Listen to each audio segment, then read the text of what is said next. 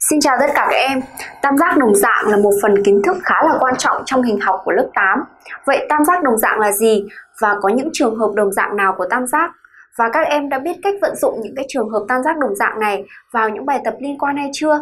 Thì ví dụ bài tập hôm nay của cô sẽ giúp các em trả lời được phần nào cái câu hỏi này. Đề bài là như sau.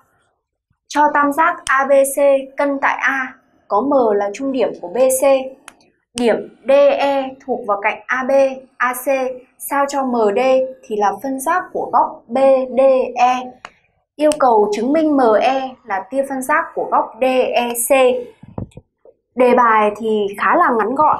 Vậy bây giờ chúng ta sẽ cùng bắt tay nhau vào vẽ hình để xem xem là việc chứng minh ME là tia phân giác góc DEC có khó không? Thì đây là tam giác ABC cân tại A. M là trung điểm của cạnh đáy BC. D, E thuộc vào cạnh AB, AC sao cho MD là phân giác của góc BDE và đang yêu cầu chứng minh ME là phân giác của góc DEC. Bây giờ nếu để hình vẽ như thế này thì rất là khó để chứng minh được. Và bây giờ chúng ta phải vẽ thêm hình Vậy vẽ thêm hình như thế nào? Thì ở đây có M là trung điểm của cạnh đáy BC của tam giác cân, nên chúng ta sẽ nghĩ ngay đến việc nối cạnh AM với nhau. Khi đấy AM vừa là đường trung tuyến, mà cũng đồng thời là tia phân giác của góc BAC. Khi AM là tia phân giác như vậy, thì các bạn có nhận xét gì về góc ADE ở đây? Khi đấy tam giác này sẽ nhận cái tia MD là phân giác của góc ngoài tại đỉnh D. Vì vậy cho nên nếu cô kẻ DF là phân giác trong của góc ADE hay cô kẻ DF vuông với DM đi, thì khi đấy DF sẽ là phân giác trong của góc ADE. Và vì vậy cho nên mình sẽ thấy F sẽ là giao của hai tia phân giác AM và DF. Vì vậy, F sẽ là tâm của đường tròn nội tiếp tam giác ADE. Vì vậy, FE sẽ là tia phân giác của góc AED Và vì vậy cho nên để chứng minh ME là tia phân giác góc DEC, mình chỉ cần chứng minh FE vuông với ME thôi là đủ. Và mục đích bây giờ cô và các bạn sẽ cùng nhau chứng minh E Cô xin lỗi FEM phải bằng 90 độ. Để chứng minh một góc bằng 90 độ thì chúng ta có rất là nhiều cách. Ở đây cô sẽ dùng cách là phân tích cái góc FEM này thành góc FED và góc DEM. Chứng minh cho từng cái góc đó bằng với hai góc nào đấy cùng cộng với nhau bằng 90 độ thì chúng ta sẽ suy ra được điều này. Bây giờ, trước hết cô chứng minh góc FED nó bằng một góc nào đấy. Thì ở đây cô phát hiện ra là cái góc đấy góc FED này bằng với góc DMF và chứng minh nó thì các bạn sẽ phát hiện ra cái góc DEF này thì bằng 1 phần 2 góc DEA mà góc DEA là góc nằm trong tam giác DEA nên nó sẽ bằng 180 độ trừ đi góc D này và trừ đi góc A này hay chính bằng 90 độ trừ đi một nửa của góc ADE và cộng với góc ADAE. Mặt khác, cái góc DMA này thì bằng lại bằng 90 độ trừ đi góc DFM vì MD vuông góc với DF và cái góc DFM này lại là góc ngoài tại đỉnh F của tam giác DFA và vì vậy, nó cũng bằng 90 độ trừ đi một nửa của góc DAE cộng với góc ADE. Ta thấy hai phần này là như nhau.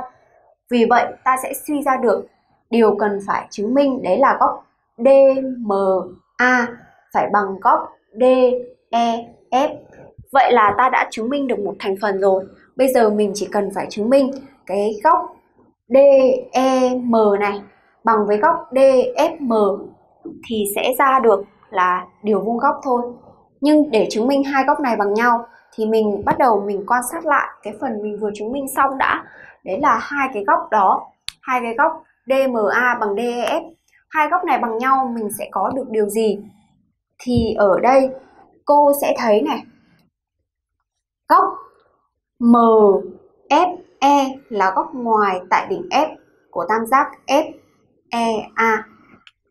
Và vì vậy cho nên nó sẽ bằng tổng của góc FEA cộng với góc FAE. Mặt khác, ta có góc MDE bằng góc MDB hay cũng chính bằng MDB lại là góc ngoài tại đỉnh D của tam giác DAM. Vì vậy, nó cũng bằng tổng của góc DMA cộng với góc DAM. Mà hai góc này bằng nhau, hai góc này bằng nhau mình vừa chứng minh được, cho nên mình sẽ suy ra được góc này bằng góc này và bằng góc này. Đó. Đây các em quan sát. Và vì vậy cho nên ta sẽ suy ra được góc BDM phải bằng góc MFE, tức là hai góc này bằng nhau. Hai góc này bằng nhau, hai góc này bằng nhau. Nên nếu ở đây cô gọi điểm Y là giao của DE và FM thì các bạn sẽ thấy góc bằng góc, góc bằng góc. Tam giác IDM sẽ phải đồng dạng với tam giác IFE. Đó. Và vì vậy cho nên mình sẽ suy ra được một cái tỷ lệ đấy là DI trên FE, DI trên FE. DI trên FI, cô xin lỗi, phải bằng với MI trên EI. Và vì vậy cho nên mình đảo một chút sẽ thành DI trên MI phải bằng FI trên EI. Tại sao cô lại suy ra cái tỷ lệ này? Là khi đó, sau đấy cô sẽ dùng cái tỷ lệ này cùng với cái góc đối đỉnh DIF và góc IMIE. Hai góc này sẽ bằng nhau đối đỉnh và cùng với cái tỷ lệ này nên suy ra cái tam giác là DFI phải đồng dạng với tam giác MEI. Theo trường hợp, ở đây là uh, trường hợp 2 đồng dạng. Cho nên khi đó mình đã suy ra được cái góc này sẽ bằng góc này. Và vậy là ta sẽ thấy là DFM cộng với góc DMF bằng 90 độ. Nên từ hai cái điều mình vừa chứng minh là cái góc này bằng góc này và góc này bằng góc này thì khi đấy hai góc này cùng cộng với nhau bằng 90 độ hay chính là góc FEM phải bằng 90 độ hay cạnh FE phải vuông với cạnh ME và khi, khi đó FE là tia phân giác của góc trong tại đỉnh E nên chắc chắn ME phải là phân giác của góc ngoài tại đỉnh E hay chính là điều phải chứng minh ME là tia phân giác của góc DEC. Vậy là chúng ta đã hoàn thành việc chứng minh bài toán ví dụ ngày hôm nay. Ừ, có vẻ như là nó sẽ không khó nếu các em nắm được kỹ các trường hợp đồng dạng của tam giác và cách vận dụng. Nhưng nó sẽ khó với bạn nào mà mình chưa nắm được các tính chất hình học um, liên quan.